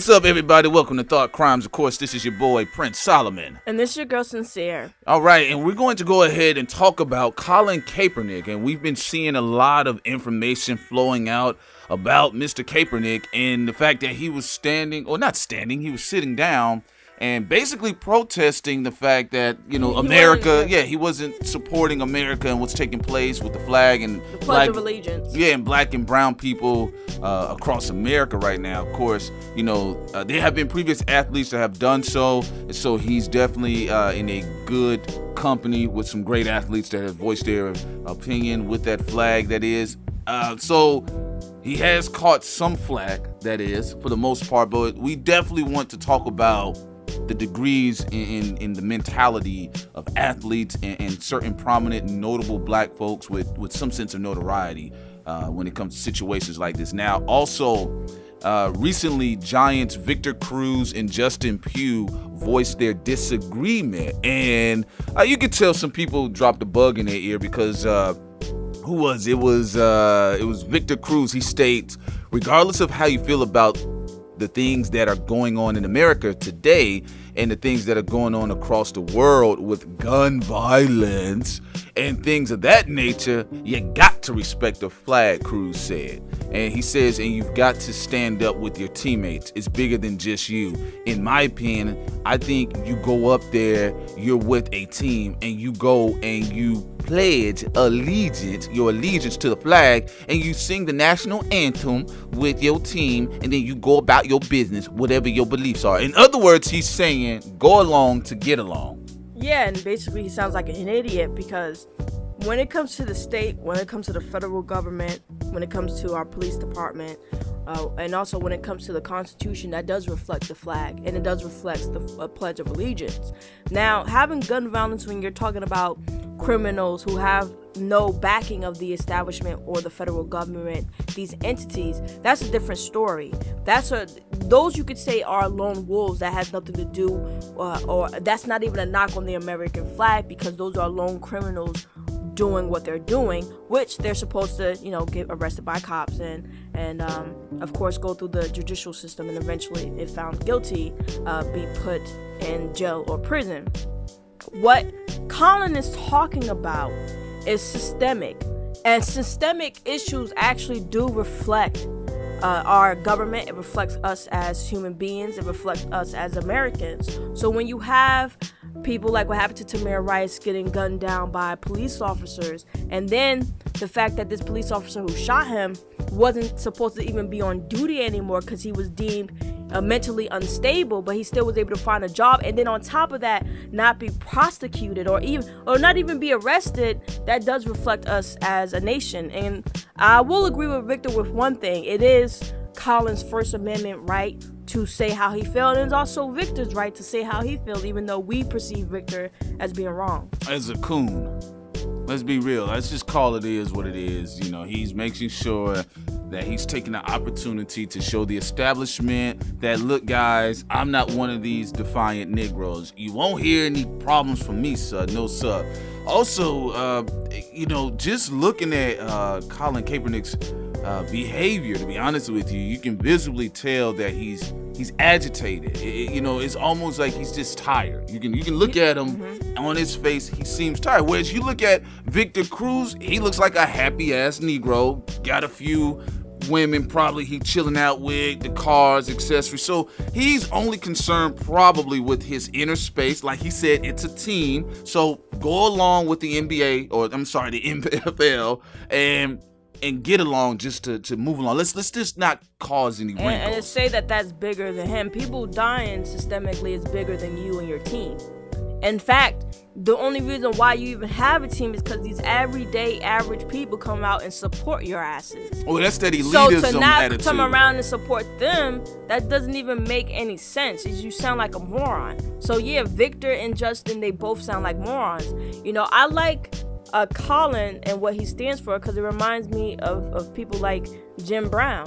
You know, these people knew systemic racism or systemic issues period that Americans face is bigger than them, it's bigger than football, it's bigger than basketball. It's it's about human rights violations and also constitutional rights violations. Also, when you have people like in Flint, Michigan, being poisoned by Governor Snyder, that's not something you you you you just wash over. And then yes, those people there in Flint, Michigan were predominantly black.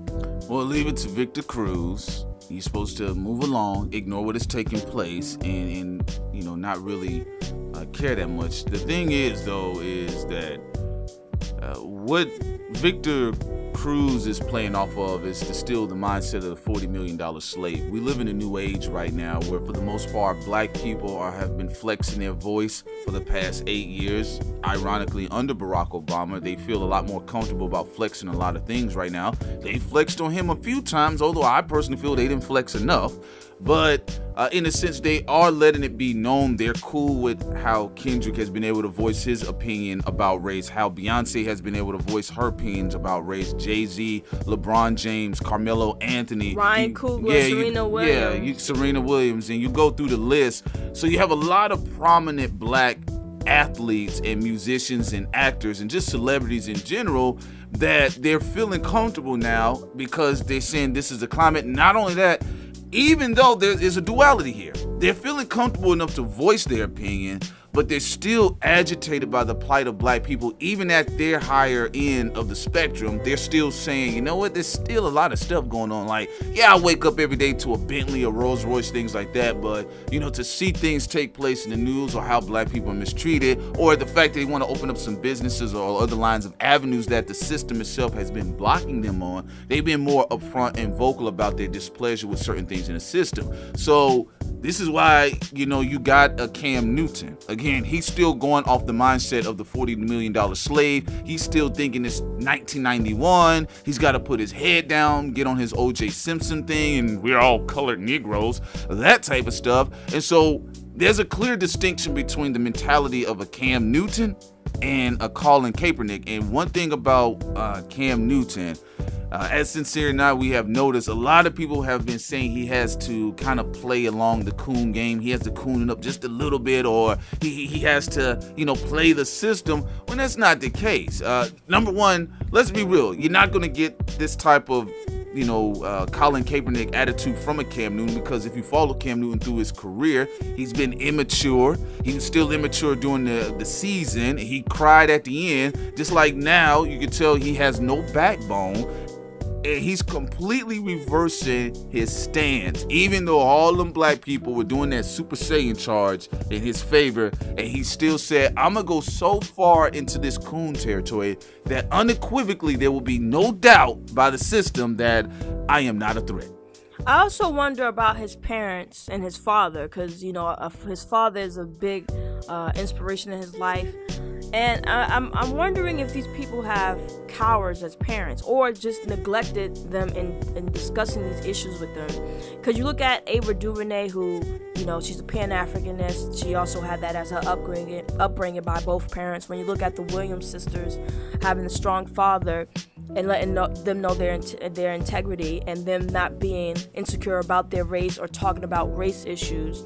Or we look at Ryan Coogler, who grew up in Philly you know, when I look at these people and then I look at a Cam Newton, it, it, it does make you wonder why are we having people like that in prominent positions be so cowardly. And then one could say, well, because he's been hired by the NFL. So was Lynch. Uh, he was hired Marshawn by Lynch. Yeah, yeah, he was hired by the NFL, played his finances right. Intellectual vague masturbators. You know what I'm saying? And, and all they can tell you about these these ideas, these theories, and they're not even theories because they don't even test them. it's like if someone had a failed business, or someone who had a failed marriage who got a divorce. Okay. I wouldn't go to them and ask them how to make it work. I would go to them and said, "Why did it fail?" Right. And then they'd be like, "Well, you know, I was doing this, I didn't do that right, or I, I wasn't paying attention to my finances." I'm like, mm, exactly. and I'm writing what right, not everything. to do. But I wouldn't go to them, and they haven't had any a, a success yet. I wouldn't go to them and be like, oh, okay, so this is what you did that you perceived was, was right. No, fuck out of here. Yeah. I'll go to someone who was successful in those two areas so I can understand what they did. And I know when for relationships or with business, to a degree, sometimes it depends on uh, what uh, there's different dynamics for different people or different companies. But as a whole, I can still see what that person did to make it work. And for the ones, the people who fail, I can also learn from them why they failed. Exactly. But I would not be trying nah. to get success, you know, information from it's, people who are failures. I'll just be real. I don't even know how y'all stomach some of these cats on YouTube. They have no product. A lot of them have no product. They just randomly upload videos. They pick out a subject. They pick out some shit that happened with somebody, and they start going in on them and telling them, telling you all how the rest of Black America sucks and that reasons why black people are in the situation they're in. Like it's this whole call to task personality, a, a, a, cult of personality. It's this call to we need to call it to task. Like I said before, people have been calling shit to task for the longest. We need to call upon some connects. That's all I'm interested in. That's why you know when people send us things, the music. If you got skills, we'll review it. We'll check it out. We may even upload it to do some special, you know, to push it for you. You know what I'm saying? But if you somebody that just want to link, but you're not producing anything or you're not making any connects. That's all we in the business of right now. And you should be in the business of that too. This is why we have LeBron James and the Carmelo Anthony's and the Dwyane Wade's linking up with each other because they understand, look, we're going to make a connection here. We're going to build some things. And I'm telling you right now, we have too many people that are just a little bit in the fray of uh, intellectual masturbating. Sometime next week, we will be doing a review of Louis P's EP because he has a pretty good EP out. And um, also Retro Gibson. I know you're listening. You, you've been messaging me, homie. Got you. Talented musician. We want y'all to check Louis P and Retro Gibson out. We'll be doing that for a lot of local cats as well. And also, we're going to continue this conversation, but since Prince brought it up, I want people to know, the, understand the difference. When you donate to our PayPal, you're just giving a, a, a, a just you're just donating so you're not gonna get a prize. But for the two people who who did donate a, a huge amount to us um, early on, those two people we will uh, give them a, uh, a, a, a, a yeah yeah we're gonna we're gonna hook you up. I, I got you Charles. and for the ones who had given us lower amounts like five dollars or something Just like that read. we're gonna give you a screen a screensaver. Yeah well yeah, yeah we'll give you some we'll screensavers e- we'll email y'all a screensaver but and also uh, just when you do those types of things just channel it towards our Patreon. Exactly. The Patreon now if you go to our Patreon and you donate uh, you will get uh, a, you will get a prize, you will get a reward, definitely. Now our PayPal again, that's just because you just want to donate, you don't want nothing in return. But the Patreon is where you will get a reward.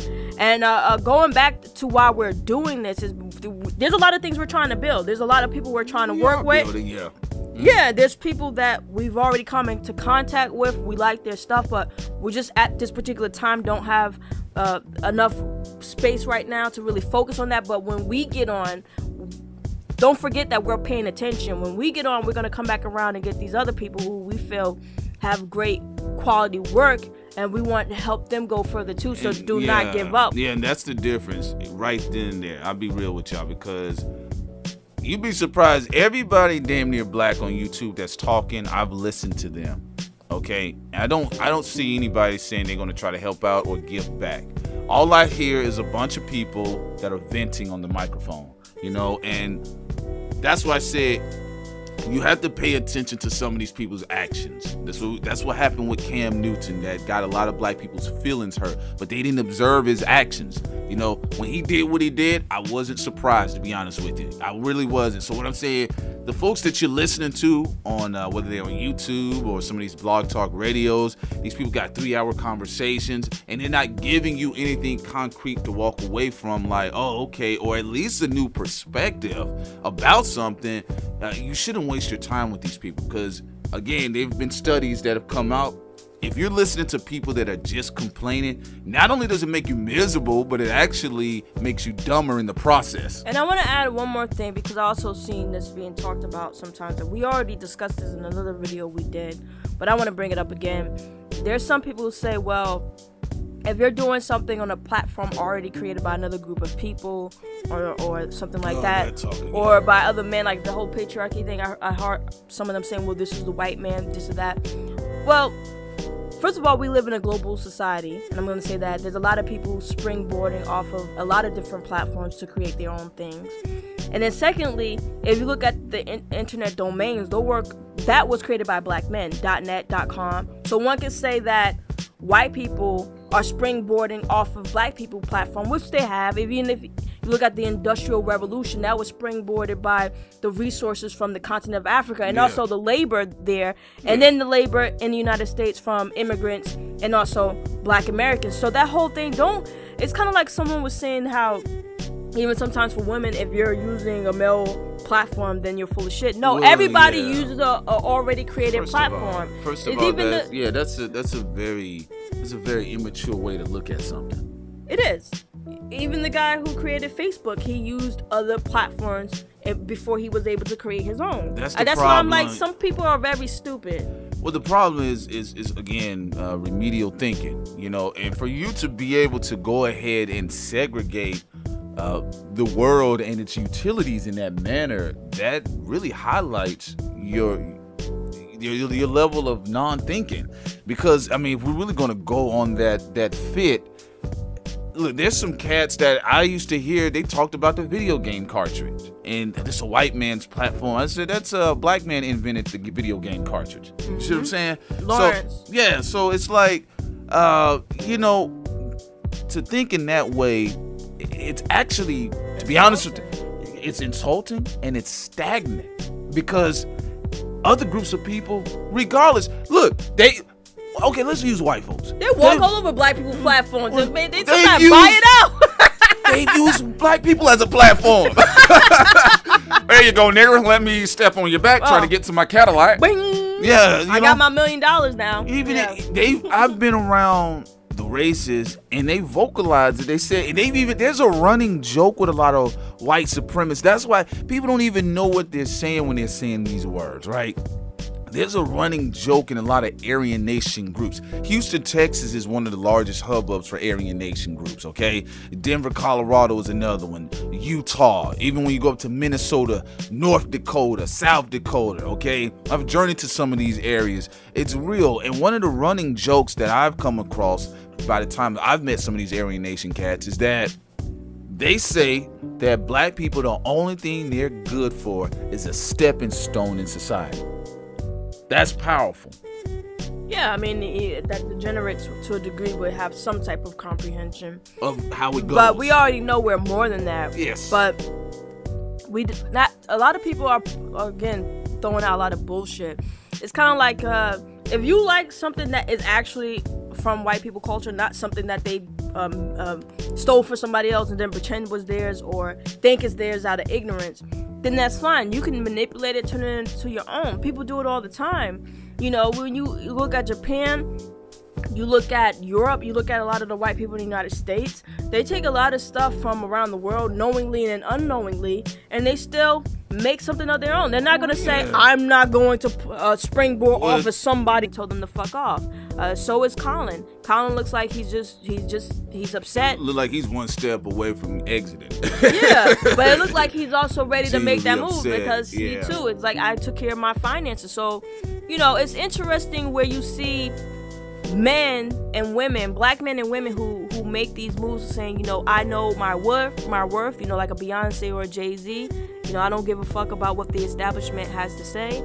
Versus someone like a Cam Newton who cries on the football field like a baby, and then also uh, retract on what he stated that year. well, even when he said, uh, "I'm a black quarterback," like there was no, there was no power behind it. You know what I'm saying? Like if you go watch those old interviews with Jim Brown, there's a lot of power. There's a lot of resonance in his voice when he said, you know, well, what I did was collectively pull with other players behind the scene to make things happen. You know, and he was saying, look, we're black, and that's just that. Even when Cam Newton was saying, look, I'm a black NFL quarterback, I- I'm nothing they can compare to, he was speaking more so towards his vanity. That's Yeah, another thing. yes. Yeah, people don't understand, like, when they look at Cam Newton, if you look at the man, hey, it isn't, you know, aesthetically, he's been blessed with the features that most Americans would consider, you know, Masculine. yeah, well, masculine and charming qualities, right? The women love him. Dudes love to look up to him, whether they want to admit it or not. Men love to look up to him. Uh, with me, I look at something differently. I kind of watch their actions. You know, I got a very strong sense of immaturity uh, with Cam Newton and an air of vanity in the sense where he'll do anything to serve his vanity. Like some people have vanity in the sense they they want to prove the system wrong and, and you know just say, hey, I'm all out for my people. Yeah, I'm here, but I'm letting you know you can't control me. There's a healthy sense of vanity. But when he was speaking about I'm a black quarterback. They can't compare me to anything. Like people got it twisted. It was like, oh yeah, that's why black men speak up. But I was like, ah, that's a bit of narcissism right there. You know, it, come on, man. Let's be real. Some of your behavior has been uncharacteristic, and now it shows you how. You know, shows you how loose he is. That not only did he do a 180, the boy swung so far into the jungle on the Tarzan vine, he can't come back. Now, what they've told him in his ear he says, Cam, look, just say this. Look, I know black people want to be mad at you, but once the season starts and they see you win, man, everybody loves a winner. And he's playing his role like Victor Cruz is saying Colin should play his role. Yeah, and Colin's not going to play that role. Nor uh, like when you have confidence in yourself, when you have confidence in the morals and the things that you stand for, you you don't you don't do a 180 on that. And also, you know, looking at Lynch again, him being financially, you know, literate, that's something that's very important too because you are not you don't become a slave when it comes to money. Don't become a forty million dollar slave. When you have a Cam, he wants to be a fashion model slash quarterback, probably actor, and the sad thing is uh, he doesn't understand he could do all those things but not be without being a Sambo or a Coon. Denzel Washington, for an example, is one of the most praised actors of our generation. And he doesn't he doesn't do no coon dance he doesn't tap dance.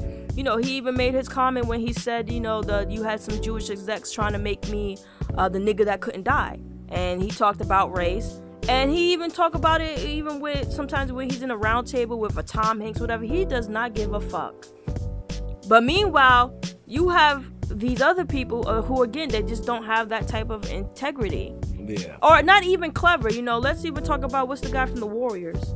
Steph Curry. It, be a Steph Curry then. Don't talk about it at all. If you if you want to promote some type of blackness or if it's with you know showcasing your family or something, do that instead. But if you don't want to be any type of con, you don't want to have any type of controversy. Don't talk about race at all. You shouldn't have been crying about it last year and then now say it doesn't exist. Well, I mean, and this is the thing, and this is why I'm glad Colin Kaepernick is getting his praise because I will say this: I've seen several NFL players and several NBA players that have taken this stance before, and unfortunately, some black people, because they're too emotionally attached to some of the bigger names, they want these guys to speak up, but they don't take time to congratulate the other guys to actually say, "Hey, this isn't cool." And some of them have launched programs. My thing is with Cam Newton, uh, people need to recognize parasites when they see him. That's what Cam Newton was. He was a parasite. It wasn't about race at the start of the season. Then towards the middle of the season, when people started questioning his behavior, but he wanted to act immature. I didn't have a problem with the dabbing and the dancing. There's some other stuff he was doing though and saying off the field that was immature. Does he even go to what's his name? Buckham? Buckham? What's the one with the curly hair?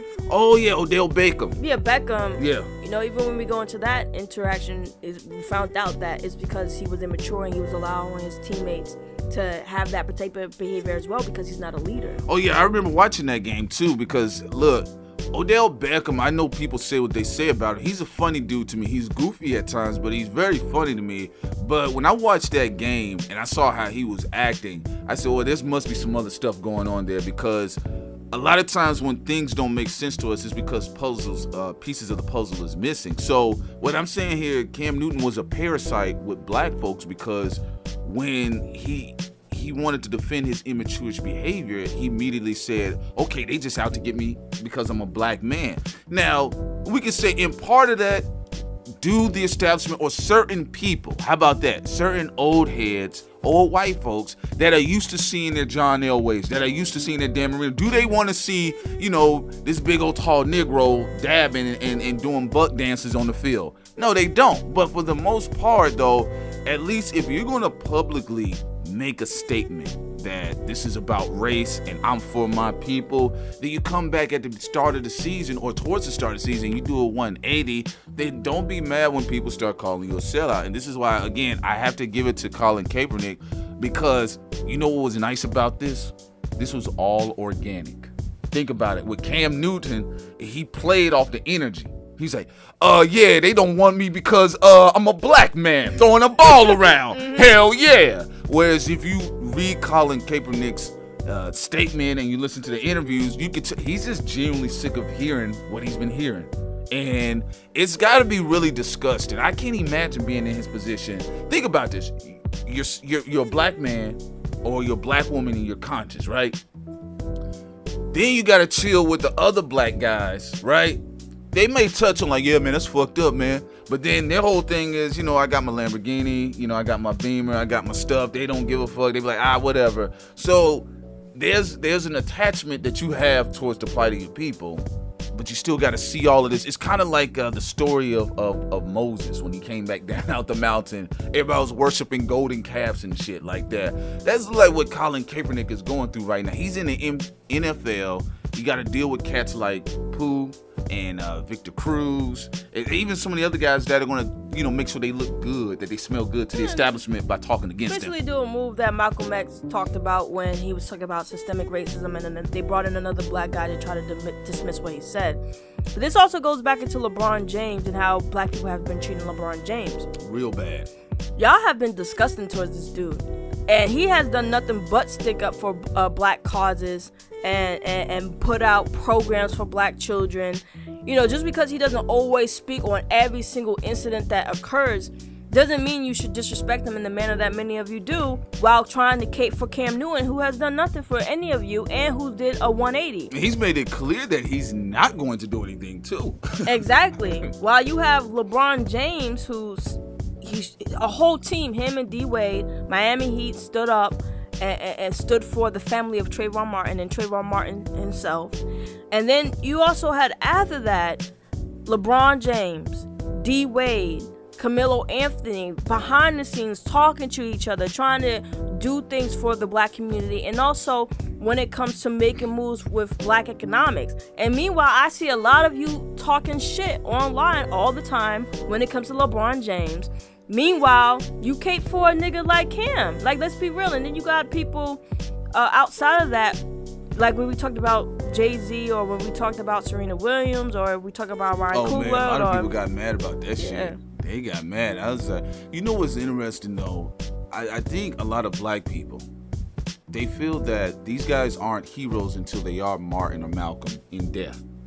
You know, Tupac wasn't the realest until he died. You see what I'm saying? And it's this thing about not praising or at least admiring and showing respect to the people that do heroic actions regarding your race while they're here. Like they said, give these people roses while they can smell them. You know what I'm saying? So and then going back to Carmelo Anthony, he's taking it one step further. He's been having town hall meetings across the nation about, you know, what's going on. He, he's kind of been like a low key David Banner with the actions of the NBA. Because David Banner has been traveling and having these town hall meetings with black people from churches to college campuses.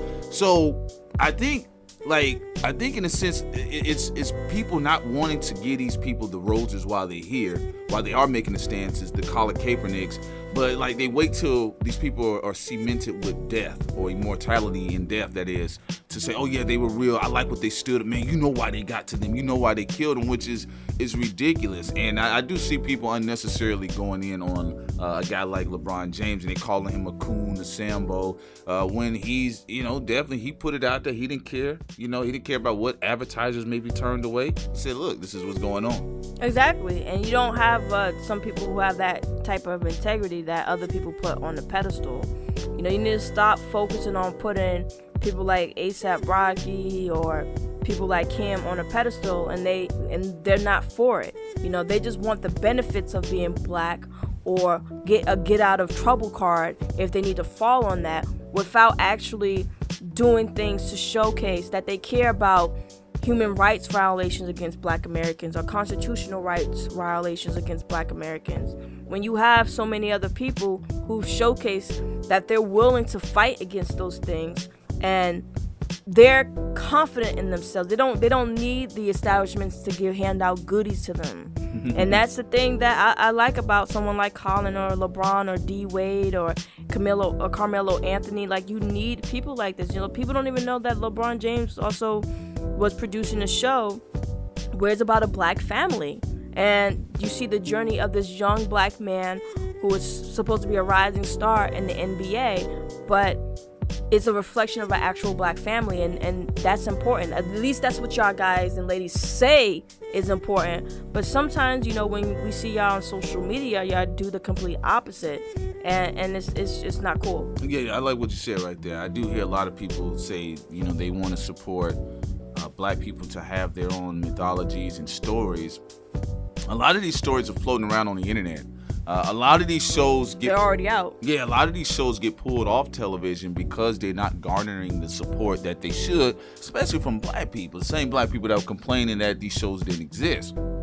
Now, uh, I don't really care about like uh, a person's preference because if Odell Beckham got on his his shit, you know what I'm saying, and got real gully with race and started talking like, "Yo, they fucking us over or this is what I'm doing for kids. And I'm pretty sure he is already doing it, to be honest with you. But even if he came out and, and showed more of it, you think I would be sitting there talking about that man gay, that man hair blonde, you know what I'm saying? Like, I don't care about that. And that's the problem. It's like Negroes saw Cam Newton smile and they just fell in love all over again. They forgot about what he said. because some of them felt like they didn't have a sense of masculinity. So they was looking at it in the form of Cam Newton because I guess for them, he reflects a normalcy that they think they have, and then he looks masculine. But they don't they don't comprehend that appearances does not make you a masculine man. You know what I it's like? your actions. You know what I liked about Cam Newton? I am glad it took place. I'm glad it took place because black people for the longest, they're still hung up on it, but they're hung up on looks. They're hung up on size. So they see Cam Newton standing at 6'5, 6'6, uh, heavy set cat, you know what I'm saying? Got a lot of mass on him, uh, and has incredible talent, very incredible talent. And to them, to some black men, to some black women, they're like, yeah, that's that's a black king right there, right? Right? Yeah, he a black king until he opens his black ass mouth, right? Mm-hmm. and you see you see what you're dealing with as a pauper. You're not dealing with a king. You're dealing with a pauper. You're dealing with a peasant. He sounded like a peasant. Oh, please, establishment, NFL, please throw me, throw me some of the gold. Please throw me some of the food. That's what you saw. And and what's interesting, if you juxtapose somebody of his massive size and strength to a little cat like Prince, who had the heart of a giant, who was all the way about black, wasn't even the same complexion. People still think Prince is biracial wasn't even the same complexion, and he was all about black is black is black is black. Five four, high heels, putting out programs for black children in inner city to know their worth, to also partake in uh, going back to being able to play instruments again, and also coding, coding IT. IT. He was also, you know, you know what he was doing with title. So you had someone like that with high heels who had put makeup, who, who used to wear a lot of makeup and still wore makeup before he passed, who wore women clothing at times, mm-hmm. and something that some people have an issue with, but they couldn't see a, a sense of masculinity and a man who made masculine moves, or let's just say intelligent moves, who who who didn't who didn't let the establishment screw him over, play him out. you know, he, he didn't give some R, I mean, some um, industry cat some head or whatever to get his fortune, or none of those things. And this guy's, you know, Prince was very confident. He's also was about helping his people. Yet some of y'all question him because of the way he dressed. You question his masculinity, but you won't question Cam Newton, a punk. Yeah, now I, there there are a lot of things that uh, you know, I see a lot of cats on the internet. They make their 52-hour videos about the feminization of black men, and then you know they'll throw up an image like uh, Young Thug. They'll throw up images like Prince. They'll throw up images like Rick James. Um, to me, you know, when you're talking about effeminizing black men, it's the rhetoric that Cam Newton is kicking. It's the rhetoric that Stephen A. Smith kicks. You see what I'm saying? It's the rhetoric that Charles Barkley kicks. It's anytime these black men get in front of the camera, and in front of mostly white folks, they start tap dancing. It's the same thing that Common realized didn't work because when Jon Stewart on the Daily Show, while he was there, you know, when the show was under his tenure, when he asked Common, he was legitimately asking him, "What is it that white people can do?" as a collective? What is it that they can understand? Tell us something that they're missing. Because Jon Stewart wanted to use that moment to be a pivotal moment of education. You could tell he's like, yeah, come on, man. I'm with you. Just come on, let them have it. And what did Common do? All y'all gotta do is just give us a hug. And then what Common found out after black people got on him and he found that black people's atmosphere right now is they're very agitated with that type of talk. That's why Bow Wow's getting tossed under the bus like he got tossed. What did Common do? He started going to the black Sundance. He started putting his name behind stuff. Well, it was worse. It was yeah. it was even worse than that. You know, I, actually, if he would have asked white people to give him a, that white people need to give black people hugs, that would have been better what Common did was so atrocious because she flipped and he said, ah, you don't need to do nothing. What black people need to do is extend their hand more and be more open to white people. Exactly. That was some retarded ass shit. And Jon Stewart genuinely looked disappointed. He looked very disappointed yeah. and shocked. You know, this is the guy who was talking about uh, Assata Shakur. Now the nigga up there like, I wanna hold your hand. Yeah, well, yeah, yeah. And I remember that. And I remember and what Common ended up doing because there is there was like a there's like a wave. It happens. It's like Kendrick, J. Cole, guys like Logic. You you would consider them the new conscious rappers, right?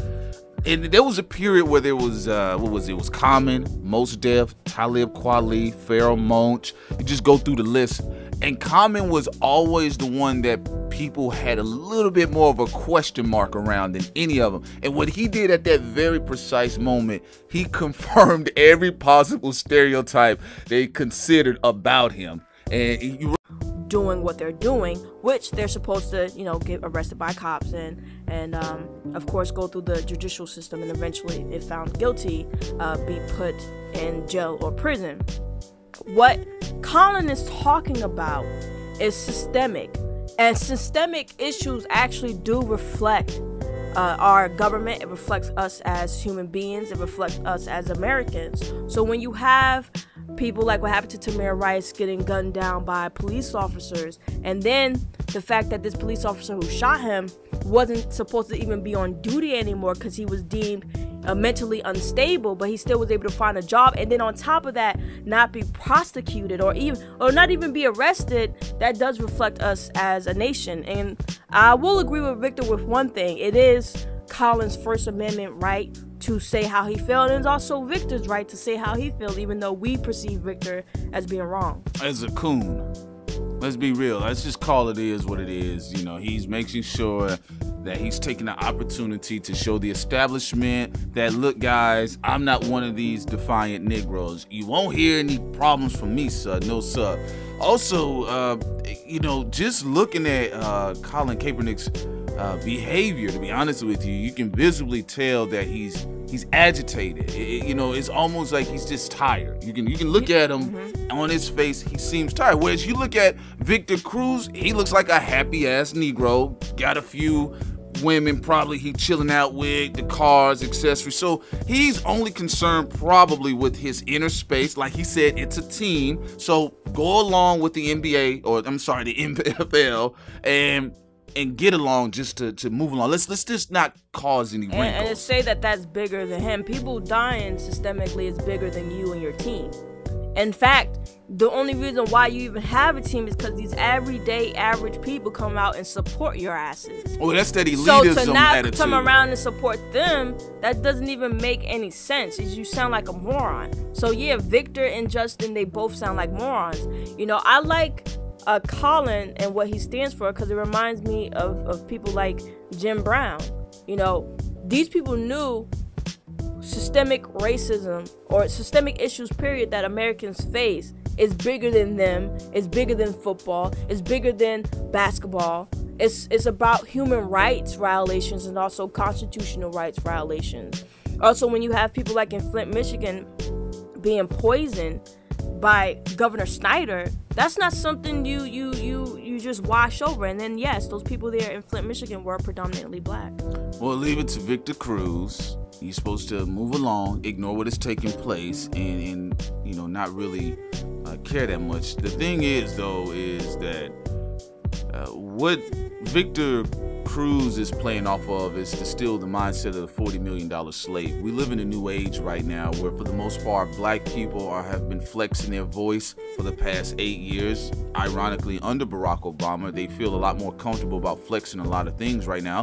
They flexed on him a few times, although I personally feel they didn't flex enough but uh, in a sense they are letting it be known. They're cool with how kendrick has been able to voice his opinion about race how beyonce has been able to voice her opinions about race jay-z lebron james carmelo anthony. Ryan coogler yeah, serena you, williams. yeah you, serena williams and you go through the list. So you have a lot of prominent black athletes and musicians and actors and just celebrities in general that they're feeling comfortable now because they're saying this is the climate. Not only that even though there is a duality here, they're feeling comfortable enough to voice their opinion, but they're still agitated by the plight of black people, even at their higher end of the spectrum. They're still saying, you know what, there's still a lot of stuff going on. Like, yeah, I wake up every day to a Bentley, a Rolls Royce, things like that, but, you know, to see things take place in the news or how black people are mistreated, or the fact that they want to open up some businesses or other lines of avenues that the system itself has been blocking them on, they've been more upfront and vocal about their displeasure with certain things in the system. So, this is why, you know, you got a Cam Newton. Again, he's still going off the mindset of the $40 million slave. He's still thinking it's 1991. He's got to put his head down, get on his OJ Simpson thing, and we're all colored Negroes, that type of stuff. And so there's a clear distinction between the mentality of a Cam Newton and a Colin Kaepernick. And one thing about uh, Cam Newton, uh, as sincere now, we have noticed a lot of people have been saying he has to kind of play along the coon game. He has to coon it up just a little bit, or he, he has to, you know, play the system when that's not the case. Uh, number one, let's be real. You're not going to get this type of you know, uh, Colin Kaepernick attitude from a Cam Newton because if you follow Cam Newton through his career, he's been immature. He's still immature doing the the C's features that most Americans would consider, you know, masculine. Yeah, well, masculine and charming qualities, right? The women love him. Dudes love to look up to him, whether they want to admit it or not. Men love to look up to him. Uh, with me, I look at something differently. I kind of watch their actions. You know, I got a very strong sense of immaturity uh, with Cam Newton and an air of vanity in the sense where he'll do anything to serve his vanity. Like some people have vanity in the sense they they want to prove the system wrong and, and you know just say, hey, I'm all out for my people. Yeah, I'm here, but I'm letting you know you can't control me. There's a healthy sense of vanity. But when he was speaking about I'm a black quarterback. They can't compare me to anything. Like people got it twisted. It was like, oh yeah, that's why black men speak up. But I was like, ah, that's a bit of narcissism right there. You know, it, come on, man. Let's be real. Some of your behavior has been uncharacteristic, and now it shows you how. You know, shows you how loose he is. That not only did he do a 180, the boy swung so far into the jungle on the Tarzan vine, he can't come back. Now, what they've told him in his ear he says, Cam, look, just say this. Look, I know black people are going to be mad at you, but once the season starts and they see you win, man, everybody loves a winner. And he's playing his role like Victor Cruz is saying Colin should play his role. Yeah, and Colin's not going to play that role. Nor like when you have confidence in yourself, when you have confidence in the morals and the things that you stand for, you you don't you don't do a 180 on that. And also, you know, looking at Lynch again, him being financially, you know, literate, that's something that's very important too because you are not you don't become a slave when it comes to money. Don't become a forty million dollar slave. When you have a Cam, he wants to be a fashion uh, model slash quarterback, probably actor, and the sad thing is uh, he doesn't understand he could do all those things but not be without being a Sambo or a coon. Denzel Washington, for an example, is one of the most praised actors of our generation. And he doesn't he doesn't do no coon dance he doesn't tap dance. You know he even made his comment when he said you know the you had some jewish execs trying to make me uh, the nigga that couldn't die. And he talked about race and he even talk about it even with sometimes when he's in a round table with a tom hanks whatever he does not give a fuck but meanwhile you have these other people uh, who again they just don't have that type of integrity yeah. Or not even clever, you know. Let's even talk about what's the guy from the Warriors.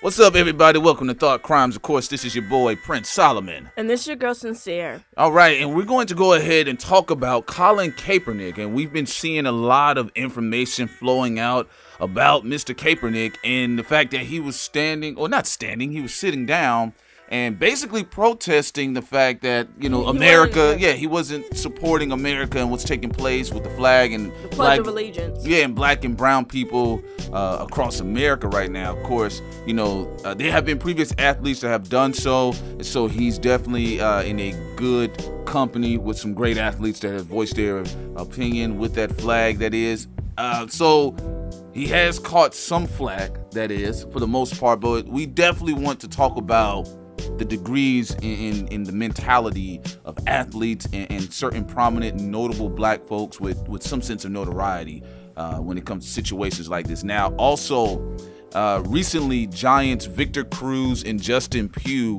voiced their disagreement, and uh, you could tell some people dropped a bug in their ear because uh, who was it? Was uh, it was Victor Cruz? He states, regardless of how you feel about the things that are going on in America today and the things that are going on across the world with gun violence and things of that nature, you got to respect the flag, Cruz said. And he says, and you've got to stand up with your teammates. It's bigger than just you. In my opinion, I think you go up there, you're with a team, and you go and you pledge allegiance, your allegiance to the flag, and you sing the national anthem with your team, and then you go about your business, whatever your beliefs are. In other words, he's saying go along to get along. Yeah, and basically he sounds like an idiot because when it comes to the state, when it comes to the federal government, when it comes to our police department, uh, and also when it comes to the Constitution, that does reflect the flag and it does reflect the uh, Pledge of Allegiance.